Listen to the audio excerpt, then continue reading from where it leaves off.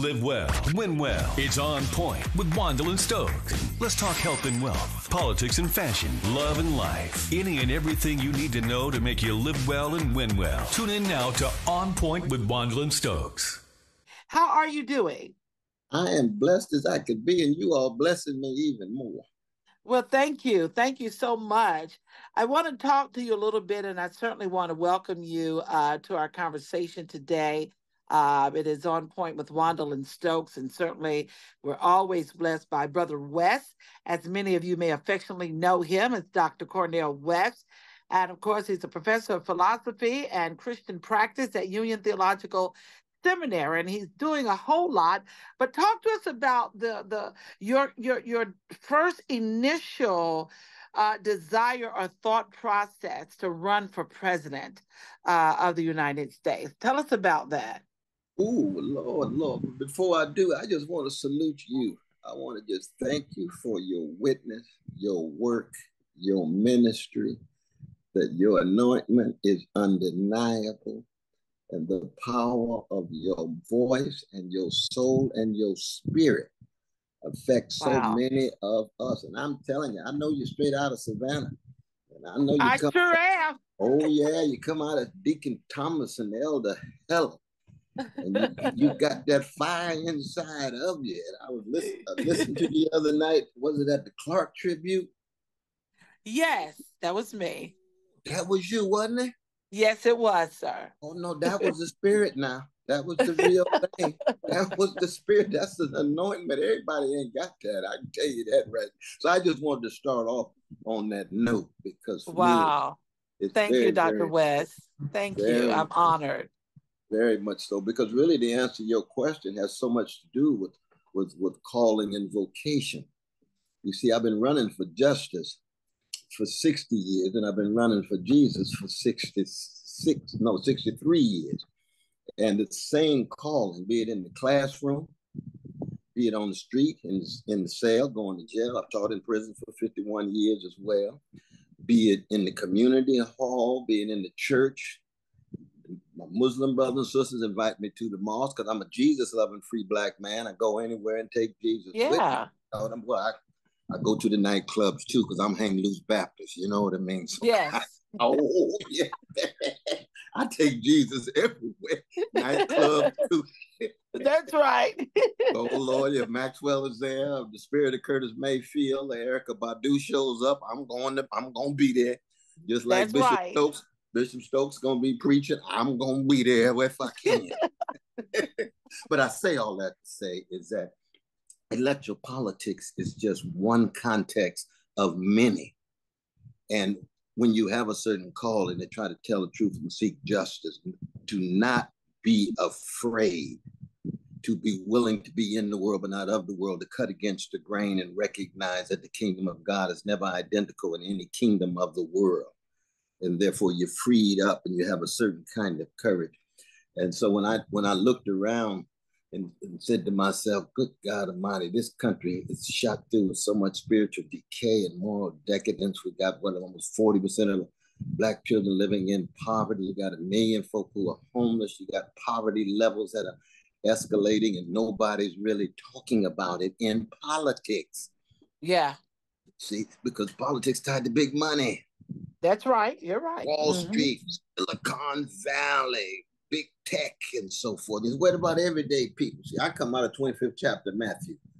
What you do unto me, you do unto the least of these. So you start with the fatherless, the motherless, the orphan, the widow, the poor, the subjugated, and so forth. And then I come out of Shiloh Baptist Church, which means, of course, that I begin on the chocolate side of town. Okay, okay. I'm very unapologetic about that. I learned how to love from Irene West, Clifton West, Willie P. Cook, Deacon wow. Sarah Ray, my vacation Bible school teacher. Now my love spills over to vanilla sides and everywhere else in the world, but it starts yeah. on the chocolate side. And I didn't see anybody in the um, in, in, in, the presidential race really highlighting the plight of poor people and the plight of black people, those who were mass incarcerated, those who are dealing with the dilapidated housing, decrepit school systems with the guns and the drugs coming in, all of that is pushed to the side and it's all about stock market. It's all about people telling us we live in the most excellent economy. Have they looked in the communities and seeing the lives that people are living? How can they call that an excellent economy? Well, the statistics tell us, don't tell me about statistics. That's if right. Jamal and Letitia are still dealing with levels of social misery, something is wrong here. Yeah. And yeah. wealth inequality. We got 1% of the population on 90% of the wealth. Three individuals have wealth equivalent to 160 million citizens. 50% of the population in America have wealth equivalent to three people. Wow. Wow, those mean? numbers are not right. Those That's numbers a, are not right. I call that a Keith Sweat moment. Something, something just ain't right. You're so right, Dr. West. Is it that uh, the players that be have not found a way to profit from, uh, you know, from poor people, from those that are incarcerated? Have they not found a way? And that's why it's of no concern to those that are running and in leadership? I think you got right to the core of it that uh, it's it's it's big money that really shapes and molds the destiny of the country. You saw it recently with uh, Brother Biden. You know that uh, people were putting pressure on him to leave. It was when the donors called up and said, "You're not gonna get a penny." Yeah, we already gave you hundreds of millions. You're not gonna get one more penny. He had no mm-hmm. choice. But when big money talks, and see what happens is that we, this is what I mean by spiritual decadence. Really, is that uh, when you view life as a gold rush, you end up worshiping the golden calf. And wow. the golden rule becomes he who has the gold rules. Well, see, that's so much of the country. See, everybody's for sale. Yeah. Oh, that's good. That's good. I mean, everybody's mm-hmm. for sale. Well, mm-hmm. when everybody's for sale, it means that people know the price of everything, but don't know the value of anything. Wow. That's good. That's good. So then there's no focus really then, Dr. West, on the expansion of affordable housing. That's right. Or quality education, or even Medicare for everybody, or yeah. safe communities for everybody. There's safe communities somewhere, but it's on one mm-hmm. side of town. That's right. Yeah. You're right. You're right. It's like mm-hmm. we were just talking about Sister Sonia because this wonderful DJ, Ms. Eclectic. You know, she she she she, she's a wonderful. Uh, yes, she is. She yes. really is straight out of Texas. She's the best of Texas. You know what I mean? yes, yes, and we is. were just talking. We were just talking about that with Sister Sonia. You see, when you got police on one side of town that's protecting and serving and being nice, and on the other side of town, too often is repressing and engaging in excessive trigger happy policing, as Marvin Gaye put it. What's going on? Yeah. It's yeah. double standards too often, you see. And the problem is, is that when you have folk who are supposed to be concerned with those on the chocolate side of town, too often they are up for sale. Right. That's right. Yeah. Too often they are up for sale. And you see, and you notice even in our churches, you see that it's the same thing. It plays out the same way. Absolutely. If you're there with market religion and the blood at the cross, the into the Kool-Aid, that thin stuff, you just want to dip in and get your blessing rather than be washed in the thick blood to have your life turned upside down so you are a new being in Christ, learning how to die every day to emerge with a power. Hey, you can see the shift. And when yes. everything for sale, then the politicians are for sale. The preachers are for sale. The lawyers are for sale. The doctors are for sale. And you say, oh my God, you know, the great uh, Manuel Scott Sr., he's one of the greatest uh, preachers uh, out of Texas. Yes. He, he, used to preach this sermon on uh, riches in Christ because it's deeper life in Christ. Oh, Lord, Lord, Lord. I hear you. I hear you. in his face now. He used to preach a sermon called the rich, the rich in Christ. And he used to say, I want people to go home and write on a piece of paper all the things that most valuable in your life that money can't buy. Hmm. Then you find out how rich you are. Yes, yes. Then you find out how rich you are. Yes. Love of yes. your mom, the memory of your grandma, the sparkle in the eye of your child, the yes. quality of your friendship, the touching of the soul of the music. It could be Walter Hawkins or it could be Luther Vandross. We ain't got to Aretha yet. See, those are things that go beyond money. That's right. And those That's are the right. things that in the end really matter.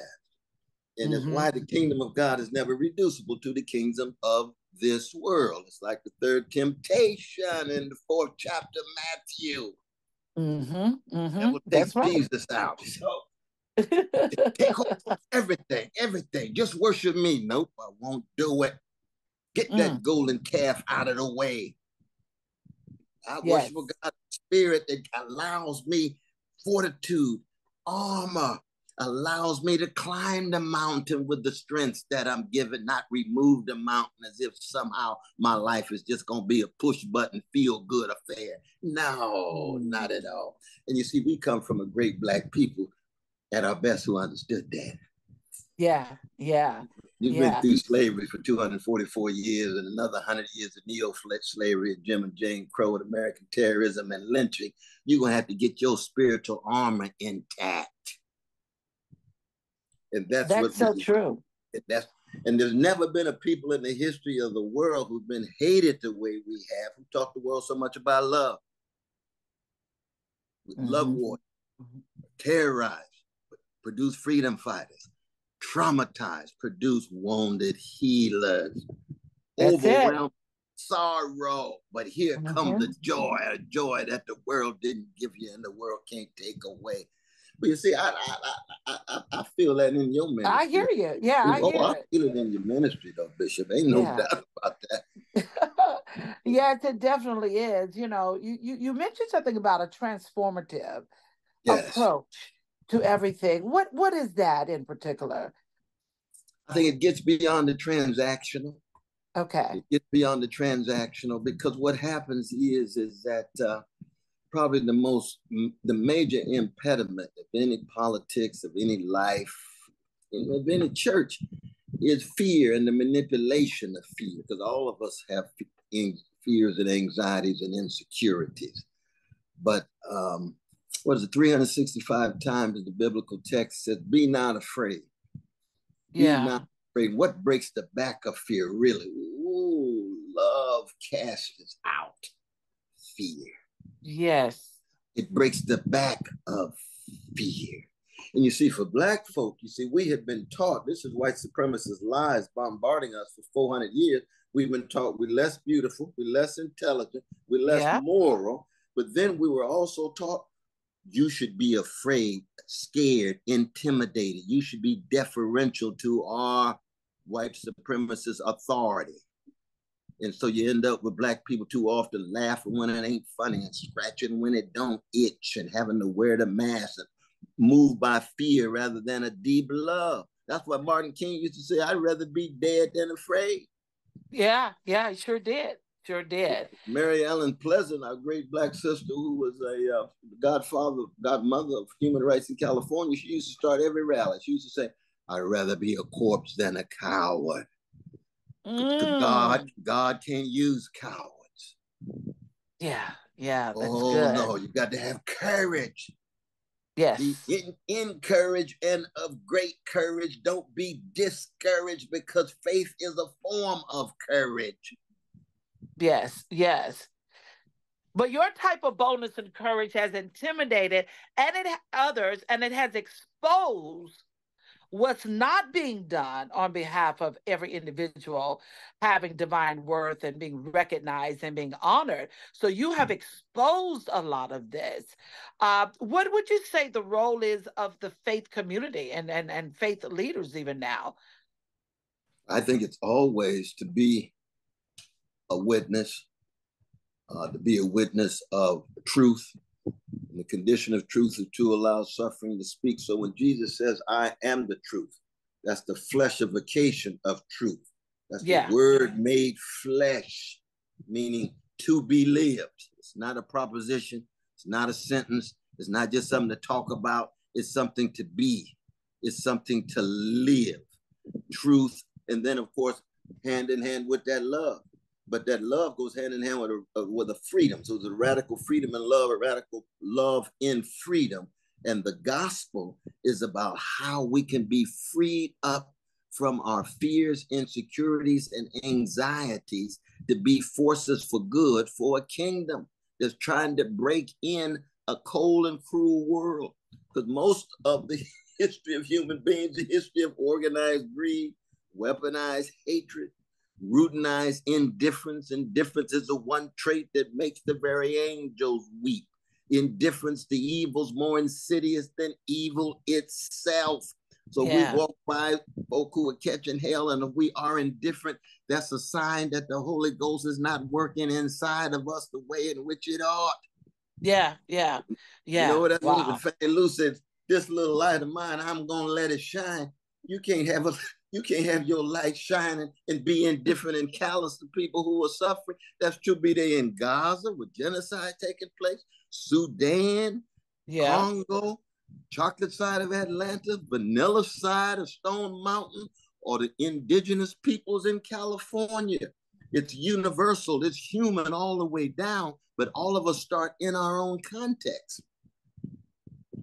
And I start in the black context with mom and dad and and and and and, and you know Glen Elder, the neighborhood where I grew up in, you know, Shiloh Baptist Church. Yeah, yeah, yeah, yeah, very much so. So if we settle in our own context, what what should be happening within the family, the core family now, as we're raising up younger generations? So how should that look in terms of parenting, in terms of raising and instilling values and building courage and confidence? How should that look today, Dr. West? Yeah, that's that's a beautiful question. You know, I uh, I wrote a book 1998, co-wrote a book called The War Against Parents and our thesis was that parenting is the ultimate non market activity in a market driven culture. Because mm-hmm. in a mm. market driven culture, again, everything's about money and profit.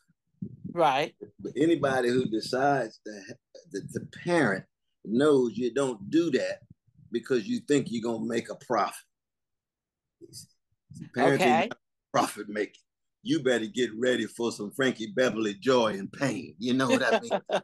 yes. You're gonna have moments of ecstasy and bliss. You will have moments where you so down and out, you drop down on your knees and say, Lord, please, please send some power because I'm in deep trouble with my child. Yeah. That's what it is to parent. But it's a beautiful thing. Mm-hmm. The mm-hmm. beauty is always a combination of the joy and the pain. They go hand in hand, like sunshine and rain, as Frankie did say. He's absolutely right. And so the question becomes then, well, what are conditions under which family and, and family love can flourish? Well, you see, again, good God Almighty, if you have people in context where they're bombarded every day, television, film, and so forth, with just money, money, money, spectacle, spectacle, spectacle, and the celebrities become heroes rather than just entertainers, then your children are going to have market orientations rather than orientations toward non-market things like love and justice and trust. Okay. Then if you have levels of what is it now, 140 million Americans either poor or low income, meaning what? 62% of all Americans live paycheck to paycheck. Mm-hmm, mm-hmm. living paycheck to paycheck, it puts stress and strain on relationships in particular and families in general. That's true. Yeah. And then if you're in communities where you feel unsafe or you feel that too many folk walk around with guns, too much drugs flowing, not enough positive spirit, then people become highly suspicious of the world and everybody else. Well, it's very difficult to, to allow for a, flowering of compassion, and community if mm. everybody's walking around suspicious of everybody. That's a paranoid of everybody. You see. And, and this is, you know, in, in, in so many ways, you know, we're talking about the uh, the decay of a whole empire. We really are. Because America, it's not just an idea but it's an empire. It has 800 military units around the world, 130 special operations in over 100 countries. 62 cents for every $1 discretionary budget goes to the military. Yeah. Yeah. Military. We go to war, we find trillions of dollars when it's time to fight poverty, trying to get quality schools, trying to get quality Medicare. We can't find a penny. That's right. We, don't want to go in debt. We, we don't want to go. You just spent trillions of dollars in Afghanistan. You just spent trillions of dollars in Iraq. Right now in, in Israel and Ukraine, we're spending billions and billions and billions of dollars. And you said, well, let's do away with the homeless. We could do away with the homeless with the matter of $45 billion overnight. No, no, no, that's low priority. Why is that a low priority? Mm-hmm, mm-hmm. Our priorities so warped.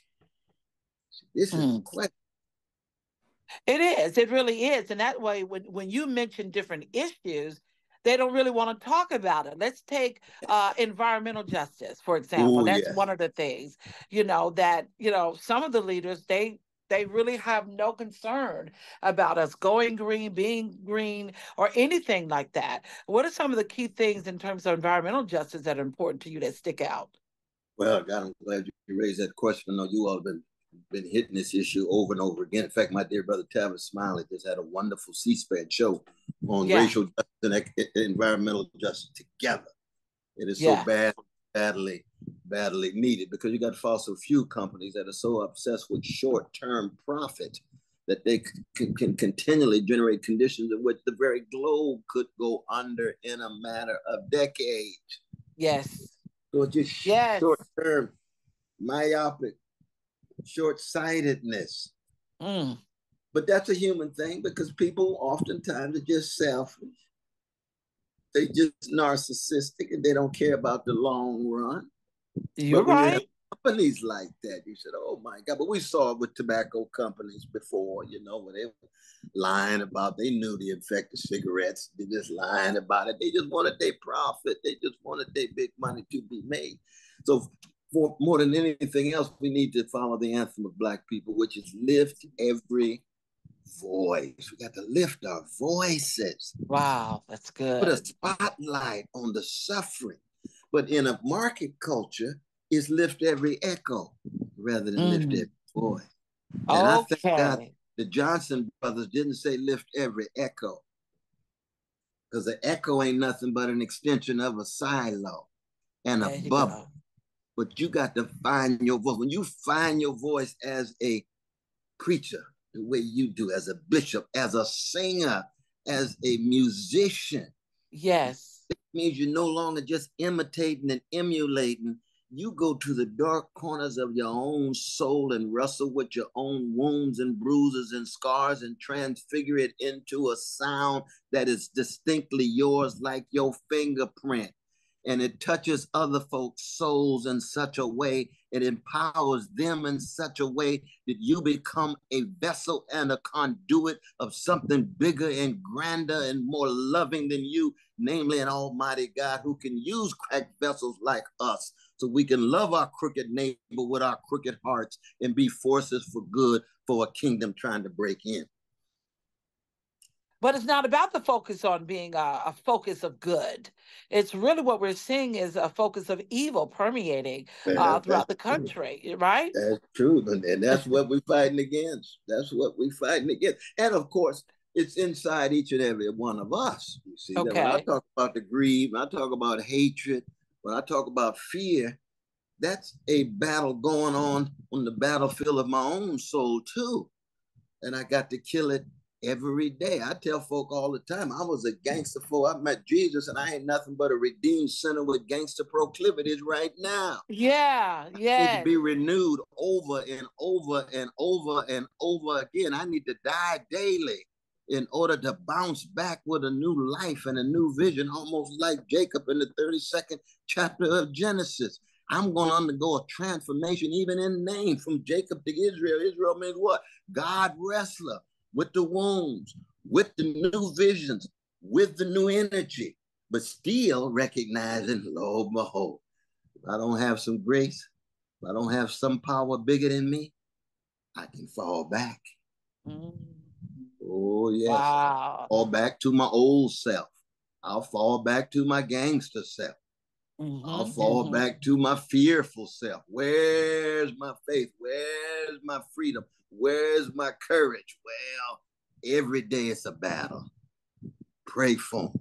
Every day it's a struggle. Ensure that your prayers can help empower and enable me. That to me is the kind of uh, view of the world that has kept us going as a people for 400 years. And it's tried and true. It's tried and true, at least for me, it's tried and true because I got a testimony. Yeah, yeah, I- you I- certainly do. Absolutely. There's no doubt about it. How would you describe the state of our country right now? I think that we're wrestling with levels of desperation, frustration, and too much of leadership is capitulation. And the desperation is thinking, how do we actually see a way out? Where's the Mhm. quality of our leaders? Mm, And, and, and the quality of a leader always has to do with what they see, what they feel, and what courage they're willing to exercise. I and there's no doubt in my mind that you know the days of, uh, of Martin Luther King Jr. and Fannie Lou Hamer and Ella Baker and Septima Clark. So those are high moments. You know what I mean? Yeah. Those are Yes. high moments. That's like Aretha Franklin and Curtis Mayfield and the Mighty Dells and Delphonics and the Dramatics. That's high standards. But when you look around these days, do you see the conglomeration of that kind of high, high quality? It's just not there. Yeah. Yeah. It's not. And It's many are suffering as a result of it, Dr. That's, West. that's exactly right. Because we don't lift the voices, folk, the powers that be will try to crush. Now, there, there's, there's figures like yourself and others who are holding up the bloodstained banner. There's always a cloud of witnesses of every generation. But we're just Yeah. talking about the, the extent. You see, when you when I was coming, I'm much older than you. When I was coming along, you see, and I looked around and saw, my God, there goes Huey Newton, there goes Angela Davis, there goes Stokely Carmichael, there go Martin King, there go Fannie Lou Hamer, there go Ralph Abernathy. There, there were so many examples. Yes. You see what I mean? And even in the Yes. music, we had Marvin Gaye, we had Aretha, we had Gil Scott Heron. Now we had we had uh, uh, Rudy Ray Moore too. Rudy Ray Moore was doing his thing with Dolomite, but he was not at the center of, of our culture. See, he mm-hmm. was on That's the right. edge. These days, Dolomite talked about by Rudy Ray Moore. God bless him, because I love my brother. You know, he, he just Yeah. don't need to be at the center of things. You know, I Right, right. But he don't need to be at the center of things. Let Curtis be at the center of it. You know. That's right. But but these days for young folk, what's at the center is the Rudy Ray Moores. And they make them heroes. They make them heroes. they sure do. think- Yes. Hey, wait a minute. You got some folk over here. J. Cole and Erykah Badu and these other folk who got something to say. How come they push so far to the to the side? Well, it's the industry. It's not the black folk themselves. It's Okay. the oligarchs in the recording industry who make decisions as to who gets what kind of contract, who gets what kind of visibility, and they don't want the love warriors and freedom fighters to be at the center. You're right. Oh my. God. Oh yeah, Curtis Mayfield was around today. He'd have to have his own label. Well, he did have his own label, Curtom with, with Donny Hathaway and, and Leroy Hutson and others. But he'd have difficult time gaining access because his genius and his love for black people would make him marginal. That's right. Tupac too. Yeah. I mean, there's so Tupac would be another great example. That's exactly right. Yeah. Yeah. Exactly yeah. right. No, even my three albums that I made, and I was blessed to work with geniuses like Bootsy Collins. You know, we wrote two songs together on his Funk Capital of the World, and Raheem DeVaughn, Masterpiece. And so I've been blessed to work with some of the greatest musicians, especially Gerald Levert, who I think is the greatest soul singer of this generation, Glenn Jones, and others. But when we would go from one label to the other, they would say, we don't want this political, spiritual crap. We want G-string songs. And see, these are the ones making the decisions. They sure are. Yeah. They making They the sure are. decision. They the ones decide to bring you in, push your song, put you on tour, and you say, oh. or take you out and create a Ooh. scandal around your name. Isn't that the truth too? Yes. Uh, yes. Isn't that the truth too? Yes, it is. Oh. Dr. West, before you leave, I, I do want you to uh, elaborate on the ways that we can use our voices. Is it just through voting, or is it a combination of things? Uh, protesting, making a stand, taking the courage, all of those things that you mentioned beforehand. How are we to use our voice to try to make a difference and to eradicate a lot of the social ills that are happening in society? I've always felt that uh, bearing witness, just like love, is one and many at the same thing, at the same okay. time. It's one because there's a common denominator. You want integrity, honesty, decency, and consistency. That's the love. Just like the vulnerability and the intimacy and private. That's why justice is what love looks like in public. Mm. Tenderness is what love feels like in private. I see. Because both of them require integrity, honesty, decency, and consistency. And you know better than I, kenosis coming out of that's right. biblical text. Empty yourself. Yeah. Give of yourself. Sacrifice yourself. That's the common denominator. But the many has to do with raising your voices in a variety of different ways. You raise your voice in church, in the barbershop, in the beauty salon. You can raise your church voice on television, on radio. Yes. You could raise your voice in the voting booth. You could raise your voice on the corner talking to the precious brothers and sisters and Jamal and Letitia in conversation. You can raise your voice talking to the precious homeless brother or sister who's just like you and just like me, but by the grace of God, go I, who've been through hell and high water, and God looks on them with the same value as God looks on you, and try to connect with their humanity. There's so many different ways in which one raises voice, and voting is simply one. But even voting has to be rooted in integrity, honesty, decency. So much of politics these That's days. Right. It's about lies and lies and lies. Oh my God, Jesus Christ. Ooh, we, I mean, you got Trump. Trump just lying every second. Then you got folks talk about Biden like he like George Washington. I say if Biden was a black brother, he'd be a retired car salesman still in Scranton, Pennsylvania. White male mediocrity, but he able to make his way. But he sure he could do some decent things. There ain't no doubt about. It. But quit lying on the cat like he's some great X, Y, or Z. Yeah, yeah. Just, yeah. just, just, just tell the truth.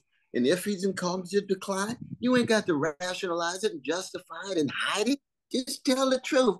Everybody goes through cognitive decline if they're blessed enough to live to be 80 something years old. But people don't want to tell the truth. I don't expect yeah. it out of gangster Trump. Democrats, you would think, would be telling the truth, but even they don't want to tell the truth. Is there a genocide going on in Gaza where 15,000 children have been maimed and murdered and massacred? Tell the truth. Don't deny tell the it. truth. Yeah. Don't enable it. Tell the truth. But if you tell certain truths, as you know, you better get ready for the cross. You're certainly right. You're certainly oh, right. Oh, yes. Must Jesus bear the cross alone and all the world go free now? There's a cross for everyone. And there's a cross for me. All yeah. of us have those crosses in our lives. But yeah. the good news is there's somebody there that's going to be with us until the end of the world. Absolutely. Absolutely. Help us bear that cross with a dignity and a decency and a determination and a perseverance. That's yes. who we are at our best. That's the greatness of Black people. Yes, yes. And if we lose that, I don't care how many celebrities and millionaires we produce, it's sounding brass and tinkling cymbal. It's empty, it's vacuous. Yes, yes, yes. Wow. Dr. West, is Project 2025 the truth from those who organized it and wrote it? Is that a truth that perhaps may set forth fear in the minds of our, our people in our country? Is it a truth? Well, it, it's certainly a document of fascism that people who wrote it have in mind of imposing on the country.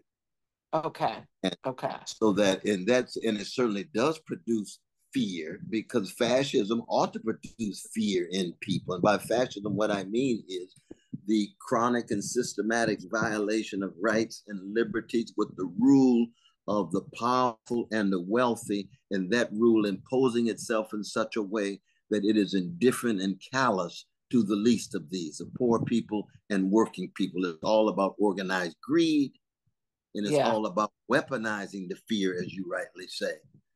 And of course, I mean, it's the kind of thing that could uh, that could that could lead toward a uh, a civil war. Because I mean, if if it were actually imposed, there would be such levels of social unrest in the country mm. because it just the policies are just so cold and callous. Now, of course, it's words on paper. It take a it take a whole process to try to translate it into legislation. Right, but right. it is very much a, a neo and crypto fascist vision of, of, of the country. There's no doubt about that. Yeah, yeah. Any closing thoughts, Dr. West? I just want to say that I've just been so thoroughly blessed, uplifted, and buoyed up to be in conversation with you. It's it, yeah. it's true. You got an anointment that no one can deny. And it's a beautiful mm. thing. Wow. Very few people have that. Very few people. And when you it's rooted in this love and this freedom, it means, of course, that you're always going against the grain. Always. Yeah, yeah. So you gotta have tough skin and courage that's and have right. it rooted in integrity and truth. That's, that's and love. I got it. it. That's it. you already, you already, already got it. You already. Hallelujah. Uh, but I say again, Deacon Thomas and Elder Helen smiling, smiling, smiling. And that's a high standard now. Yes, sir. Thank you. I'm honored. And thank you for being a part of On Point with Juandolyn Stokes. Dr. Cornel West, 2024. Thank you so much. We appreciate Indeed. you. God bless you. God and we'll bless. be in touch. Yeah. Indeed. We're praying for each other now. That's right. We certainly are. Thank you.